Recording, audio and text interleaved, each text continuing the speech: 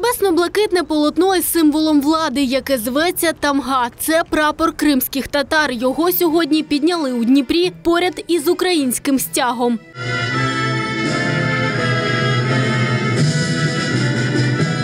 Далі урочиста мить лунає гімн України.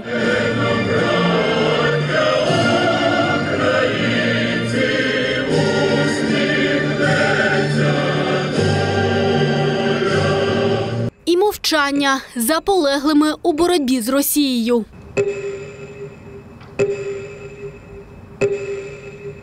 Були загиблі та травмовані рівно 10 років тому, згадує Кемал Мустафаєв, чоловік кримський татарин. Описує події 26 лютого, коли етнічний народ півострова вийшов на мирний протест. Мы против интервенции России в Крым. Мы все говорим на русском языке. Защищать русский язык здесь просто не нужно. Я не хочу жить в России, где говорят, как нужно мне жить, где флаг моей страны не разрешают.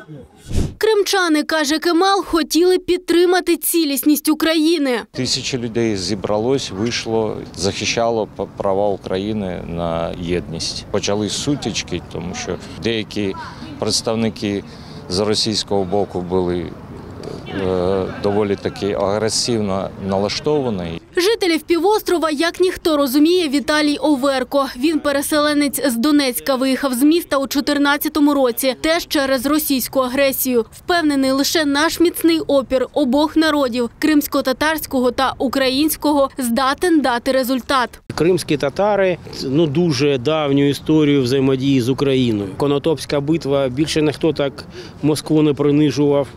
І е, якщо казати, то е, спалили Москву, то теж.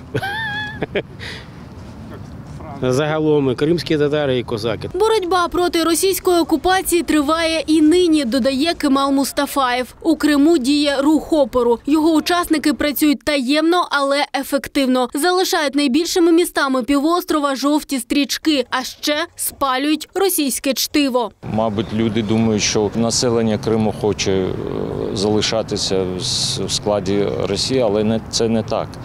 Дуже багато людей, хто е, бажає повернення до України, е, бажає звільнення Криму. 26 лютого у 10-ту річницю спротиву окупації на вершині півострова знову замайорів синьо-жовтий стяг. У такий спосіб активісти вкотре нагадали росіянам Крим це Україна. Аймін Арнаут, Юрій Смірнов, Open News, телеканал відкритий.